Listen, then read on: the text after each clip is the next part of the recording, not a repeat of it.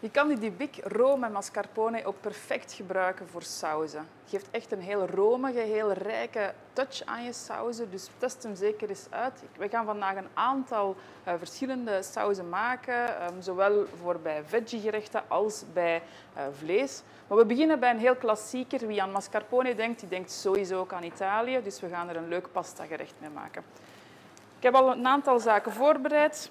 Ik heb hier in een pannetje uh, shallot samen met prosciutto en walnoten fijn aangestoofd, geblust met witte wijn en dat heel mooi laten reduceren. Je ziet, mooie reductie, zit heel veel smaak in.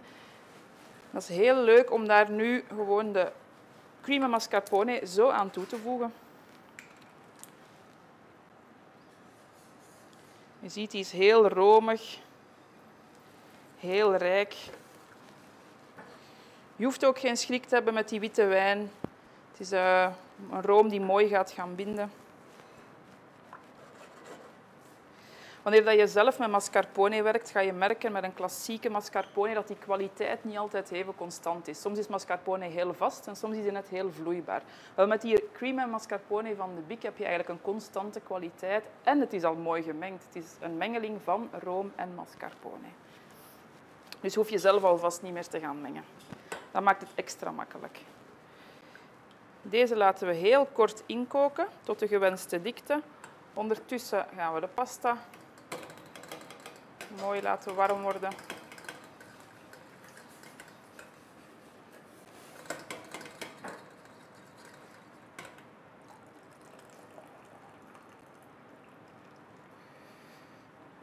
Zo. Die mag meteen bij saus. Gaan we mooi gaan mengen. Je gaat zien dat die roomsaus heel mooi zich bindt rond de pasta. Heerlijke geur, dat kan je natuurlijk nu niet echt proeven of ruiken. Maar geloof mij, je zit echt op smaak, is het echt een super lekkere room. In al jouw saus toepassingen kan je hem gaan gebruiken. En eigenlijk is die nu al klaar om te gaan dresseren.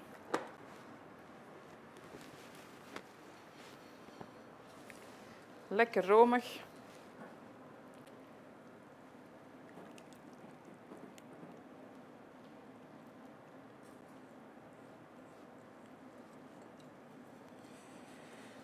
Ideaal voor à la minute toepassing, zoals je nu ziet. Maar je kan hem natuurlijk ook gewoon op voorhand gaan maken, deze saus. Afwerken met nog een klein beetje gehakte walnoten. Dat zit ook in de saus.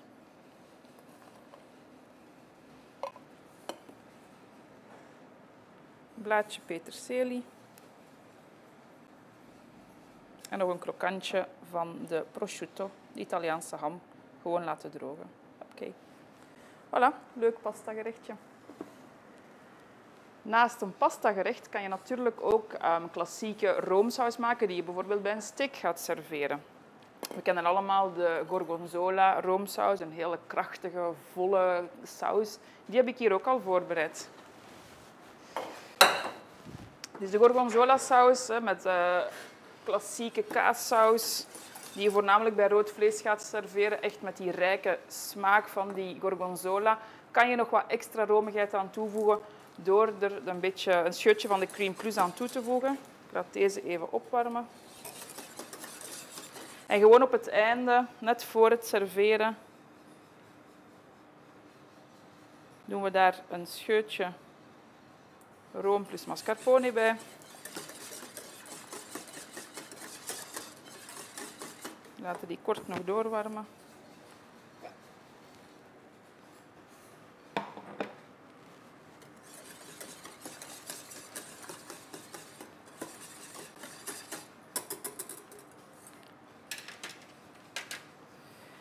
Echt die hele romige, romige saus kan je mooi gaan serveren bij een stukje rood vlees.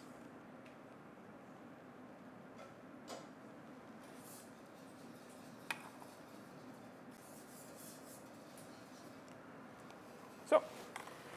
Twee hele rijke, romige sauzen uh, die perfect gaan uh, doorheen het volledige jaar. Uh, André, jij bent daar ook al een en ander aan het klaarmaken. Zeker, kom erbij.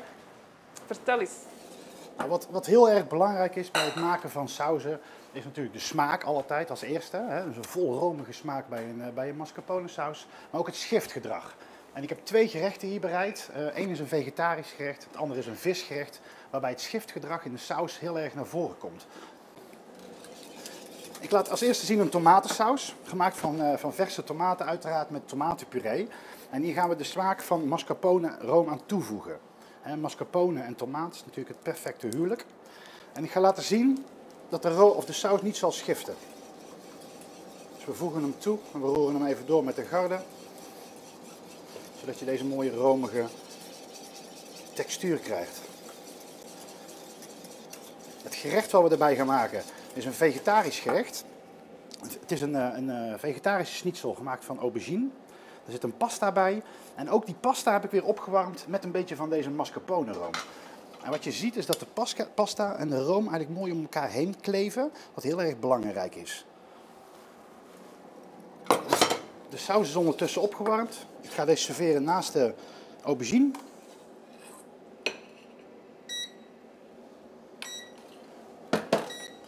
En we maken hem af met een beetje basilicumolie.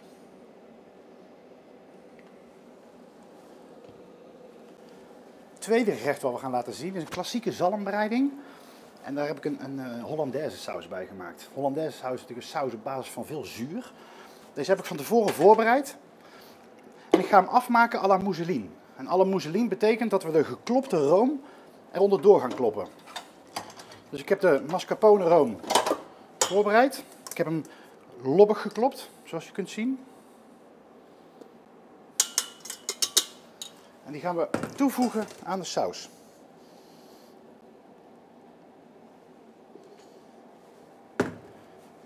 Dit roeren we door. Met een spateltje gaan we dit met een garde doen, dan zouden we al het lucht er weer uitkloppen. Eigenlijk een, eh, een, een warme mayonaise is het.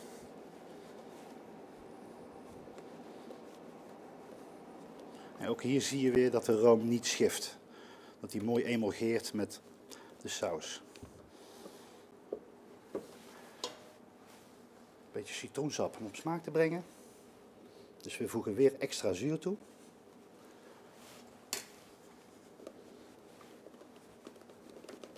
En vervolgens maken we het bord af met de saus.